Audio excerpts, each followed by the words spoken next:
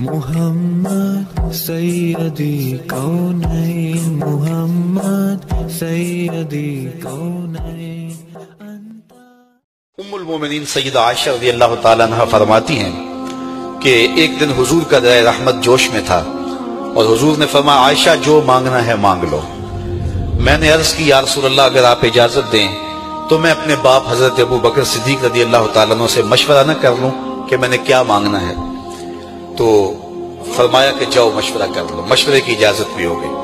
میں اپنے والد گرامی کی خدمت میں حاضر ہوئی اور کہا کہ دریائے رحمت جوش میں ہے اور رحمت کا باڑا برس رہا ہے۔ حضور نے فرمایا، عائشہ، جو مانگنا ہے مانگ لو۔ یہ اتنا سنہری موقع ہاتھ آیا ہے۔ تو میں چاہتی ہوں کہ کوئی مانگوں تو اہم شے مانگوں۔ تو آپ کی خدمت میں حضور سے اجازت پا کے حاضر ہوئی ہوں۔ مجھے بتایا جائے کہ میں حضور سے کیا مانگوں تاکہ کوئی چھوٹی چیز نہ مانگوں، بڑی چیز مانگوں۔ حضرت ابو بکر رضی اللہ تعالیٰ عنہ نے فرمایا کہ بیٹا حضور سے جا کے کہنا کہ میراج کی خلوت خاص میں اللہ نے آپ سے جو راز کی باتیں کی تھی، ان باتوں میں سے ایک بات بتا دو۔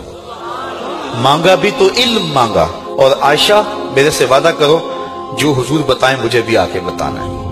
ام المومنین حاضر خدمت ہو گئی حضور نے پوچھا، عائشہ مشورہ ہو گیا؟ کہا جی حضور ہو گیا۔ کہا، مانگو، کیا مانگتی ہو؟ کہا، حضور میراج کی خلوت خاص میں جب اللہ کے حضور حاضر ہوئے رب نے آپ سے راز کی باتیں کی تو ان باتوں میں سے ایک بات بتا دیں۔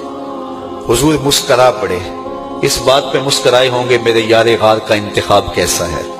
یا اس بات پہ مسکرائے ہوں گے کہ راز کی بات بتا دوں تو راز راز نہ رہا۔ لیکن وعدہ کیا تھا، کہا عائشہ سنو، جب میں قرب خاص میں پہنچا تو میرے مالک نے مجھ سے راز کی جو باتیں کی، ان میں سے ایک بات یہ تھی، محبوب، تیری امت میں سے کوئی شخص کسی شخص کا ٹوٹا ہوا دل جوڑ دے۔